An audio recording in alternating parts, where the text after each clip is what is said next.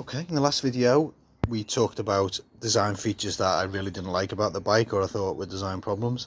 In this video let's talk about some of the design features that I really like. Um, just put that in context, that will be with regard to what the bike's used for and it is basically a learner bike or a commuter bike or you know someone who wants a very lightweight bike. Um, it's the Lex, Lexmoto's entry level bike so you know geared bike so um, it's with regard to that, in keeping that in context. Okay, so what do I really like about the bike?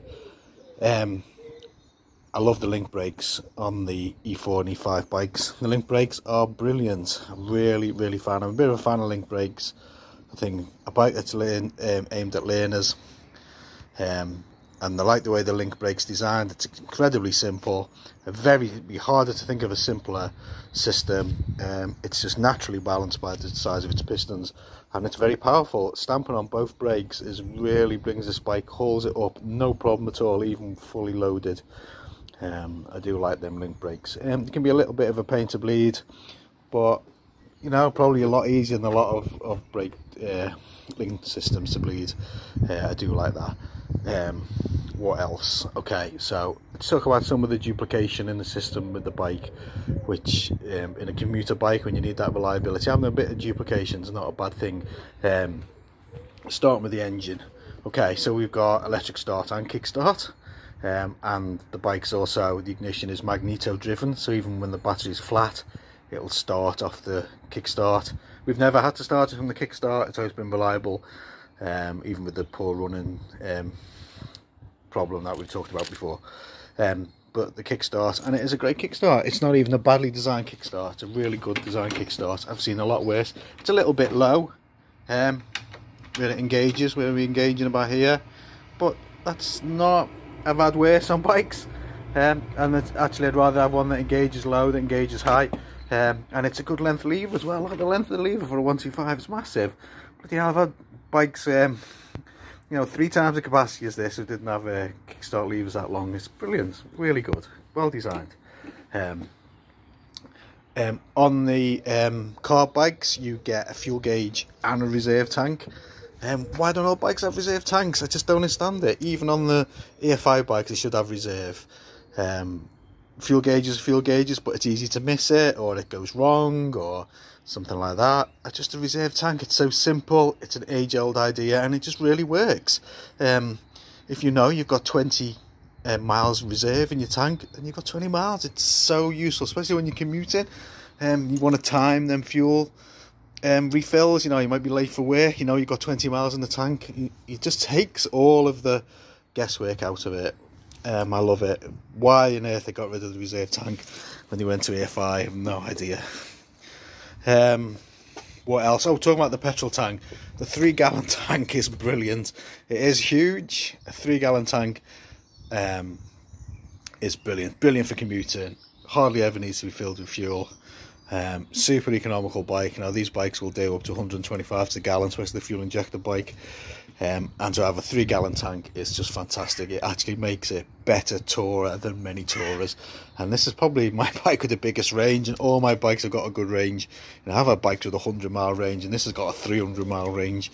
It's absolutely fantastic. The only fly in the ointment, of course, is the EFI bike. You have to muck it up a bit, and of course, the vent tube comes up, and it's very easy to if you brim full it, it fills up the breather system and the bike stops. But that just doesn't happen to the carb bikes.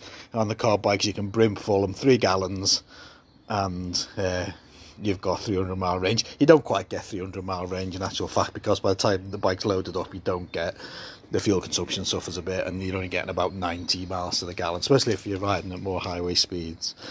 Um, but on the subject of touring, they make an excellent tourer. Um, we've done some good miles on this. Um, why is it a good tourer? Okay, um, the low power of the engine um, it's just not as peaky as it? It's only 11 horsepower and it's got a fantastic spread. It'll pull from almost any gear. Um, I keep seeing um, reviews like saying oh it's very peaky got to rev it well to go quickly you've got to rev it but you've got to do that with any 125 it's actually got a really good spread of power and it'll pull um, fifth gear from quite low revs right right down to a thousand rpm it's really really a nice torquey engine. Um, it's very user friendly so very mistake uh, forgiven you know, forgiving of mistakes. Um, on the engine as well, sorry to go back to the engine, balance shaft means that it's super comfortable for touring and there's hardly any vibration out of the engine.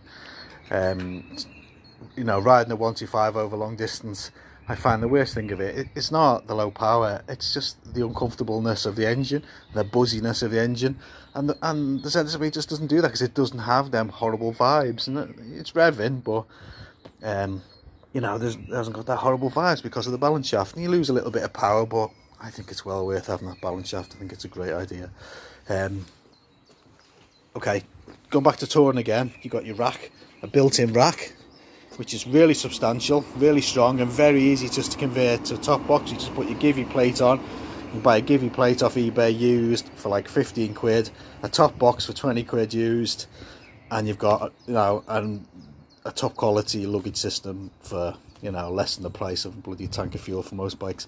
Absolutely fantastic. All 125 commuters should have a rack i don't understand why they don't have it. And for me it's just an essential item really on a 125 you're going to be using this for college or even if you just want to carry um, some waterproofs and a lock around with you um, it's just so handy and it makes the bike so practical you nip to the shops and just throw your shopping in the back oh, brilliant the, the rack is just an excellent idea how they managed to do it on such a cheap bike to have a rack built in. It's just just uh, just fantastic. Okay, also in the price you get a centre stand, which is just um, you know um, I think is essential for storing the bike in high winds and stuff like that, or you just want to do maintenance and chain maintenance. Again, when you're touring, not having a centre stand's a real pain. Trying to adjust the chain when you haven't got a centre stand and you're in the middle of nowhere, well, that's just a nuisance, isn't it? So, um, centre stand. Okay, and the clocks. Um, really like the analog tacho Um, a lot of bikes don't have analog anymore. I like it.